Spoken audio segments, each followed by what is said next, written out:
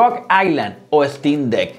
Pues bien, vamos a ver cuál de estas dos consolas son realmente la mejor, tanto en hardware como en software. Vamos a hacer unas buenas comparativas y vamos a sacar varias estadísticas para saber cuál de las dos realmente es la que nos conviene para nuestros videojuegos.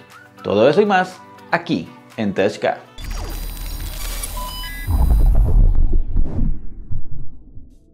Y bien, como les dije al principio, les recuerdo antes de comenzar que si ustedes tienen algún unboxing, review o incluso algún tipo de análisis como este, háganoslo saber aquí abajo en los comentarios para traerlo lo más pronto posible al canal y sacar todas las dudas posibles. También les recordamos nuestras redes sociales, Instagram y Twitter para que nos sigan estén más pendientes del mundo gamer y las noticias.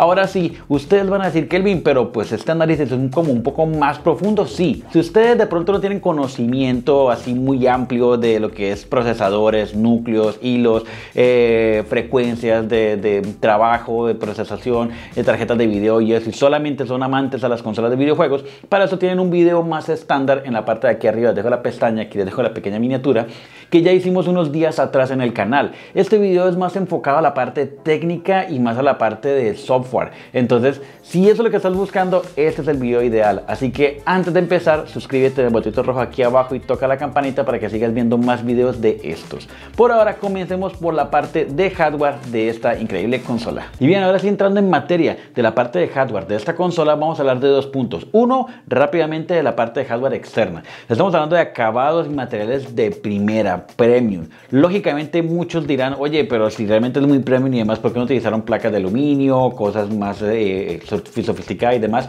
Sí, lo hicieron mucho en plástico, pero es para economizar, pero es un plástico de muy buena calidad.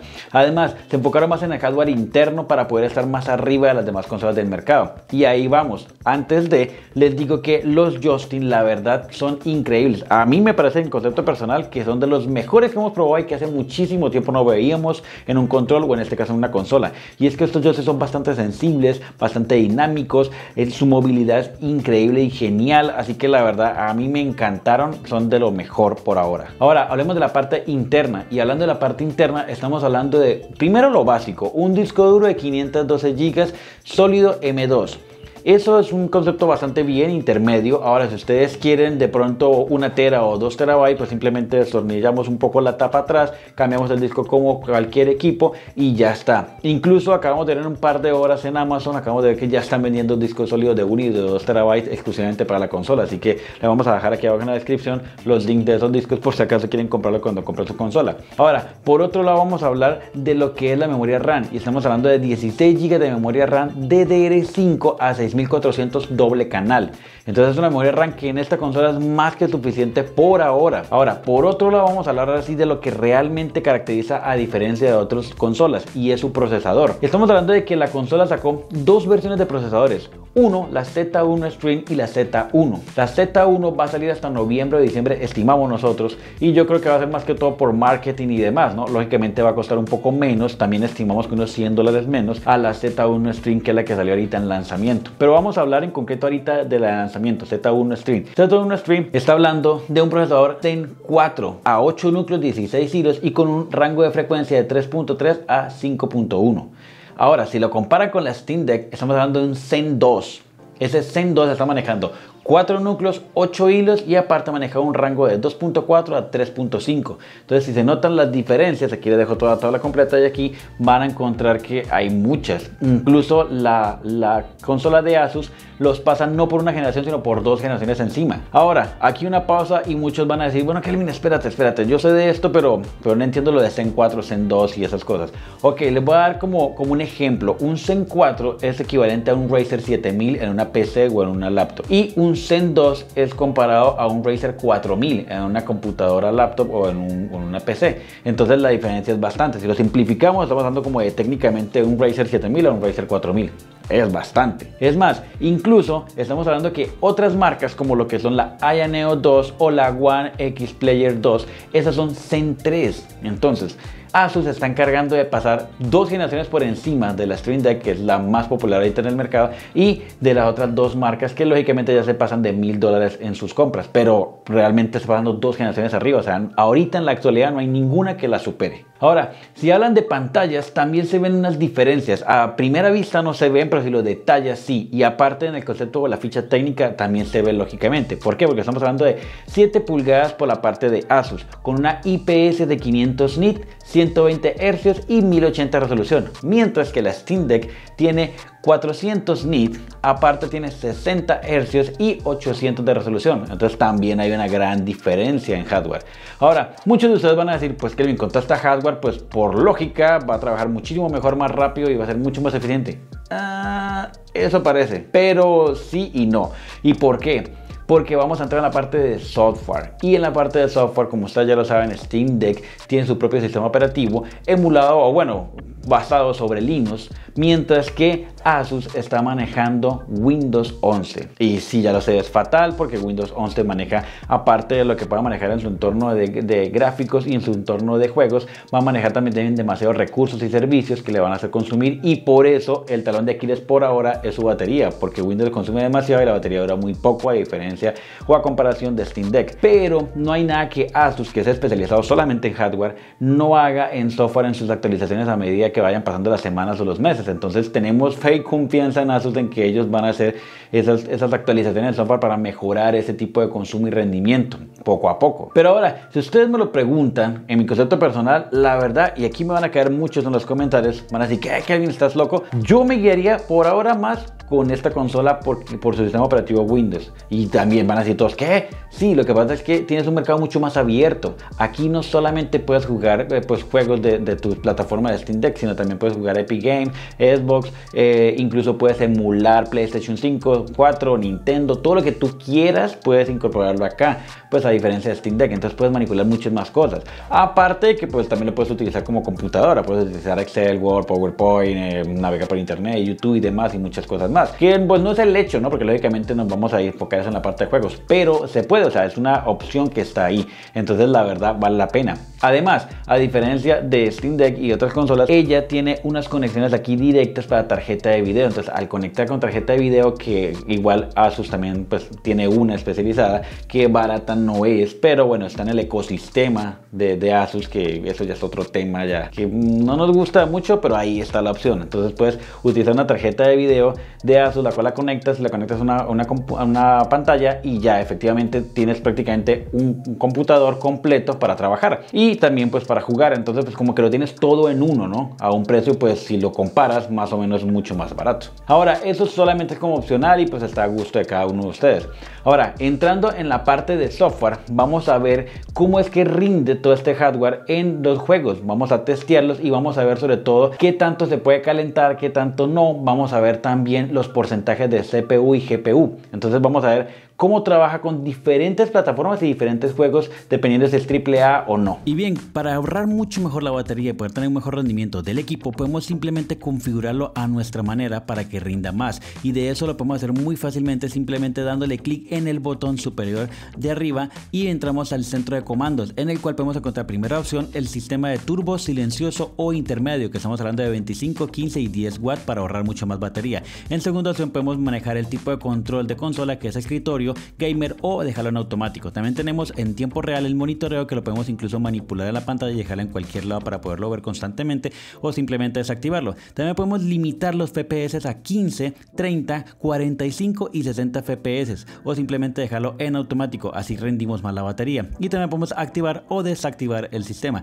También podemos activar o desactivar el AMD RSR. Ahora, por otro lado, entrando a la configuración general completa, también podemos ver que en la parte derecha tenemos como editar el centro de comandos e incluso podemos agregar más opciones. Por ejemplo, entre más opciones podemos agregar lo que es el tipo de resolución para que lo veamos y la tasa de refresco, además de otras opciones más que pueden encontrar que pueden agregar fácilmente para que ustedes lo puedan manipular. Además, también tenemos la opción de conexión, audífonos y demás, que bueno, eso ya viene para otras cosas. Ahora sí, podemos empezar a ver nuestro testeo de juegos. Y bien, vamos a comenzar este test de juegos sin simplemente con ver la calidad de imagen. Así de arranque, por default, como viene la consola, la imagen está perfecta, brillo, contraste, iluminaciones, acabados, está excelente, ideal, sin necesidad de todavía meterle mano a la configuración como tal.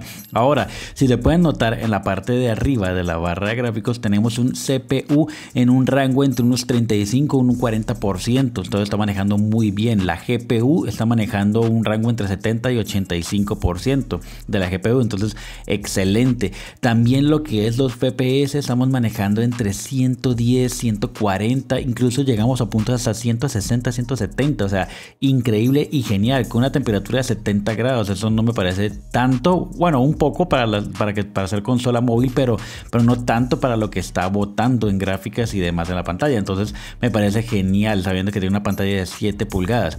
Ahora, pasando al formato medio o intermedio, si estamos viendo que la CPU baja bastante, baja un 20-25% y la GPU también baja un poco eh, a un 70-75%, no es mucho, pero los FPS sí nos encontramos con FPS alrededor de unos 60 a 80, entonces sí hay un, rango diferente y la temperatura ahí sí notamos que baja bastante, unos 57 grados, entonces está, pues está mucho mejor y nos va a rendir mucho más la batería. La verdad, eh, la diferencia en fluidez y demás se nota muy mínima, muy poca. Ahora pasemos al modo silencioso o al modo más sencillo, que es el que supuestamente nos da más capacidad. Y ahí es donde encontramos una CPU manejándola al 15-18%, o sea, súper bien. Una GPU al 60 al 65%.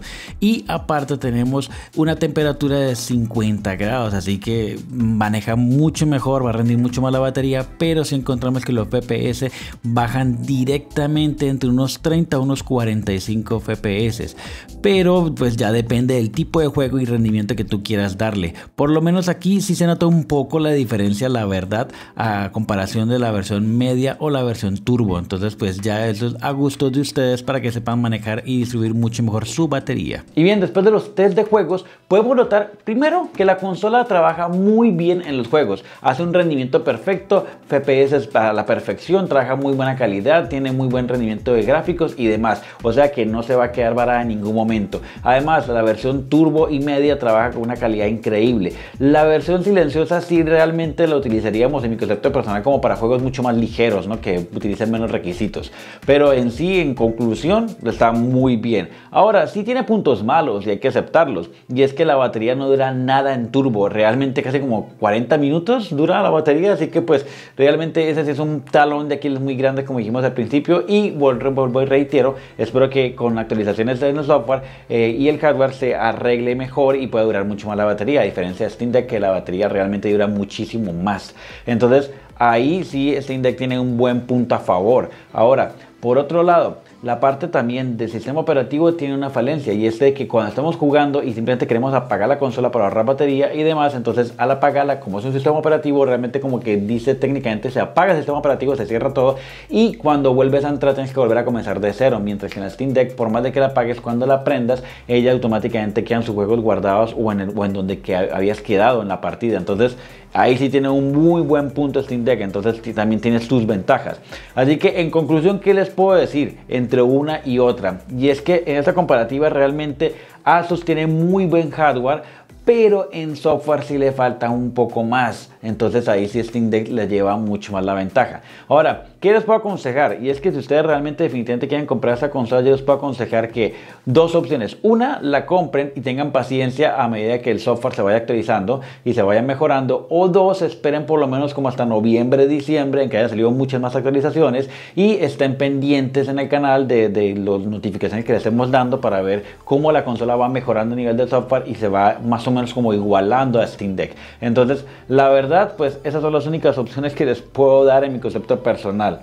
Espero que les haya gustado este video, hemos llegado al final y si ustedes han llegado hasta acá, espero que les haya gustado. Si es así, toquen el botito rojo aquí abajo para que se suscriban si no lo han hecho y toquen la campanita para que YouTube les notifique cualquier otro video que subamos o un tipo de comparativa como esta. Nos vemos la próxima semana en un próximo video. Bye.